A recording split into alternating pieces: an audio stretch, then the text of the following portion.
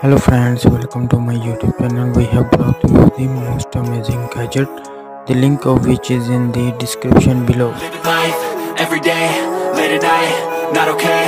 All I want, and I pray, all I need are some better days. Fuck me, I'm looking in the mirror. So foggy, but I've never seen clearer. I don't really think anyone can save me And honestly, I'm not really sure I want saving. I like to be my own worst enemy. There's no risk if you don't try at anything So I'ma just keep buying everything See you in the next life, have to be a better me. I don't think that my head's on straight. Gotta flip it and grip it and go and get an x-ray.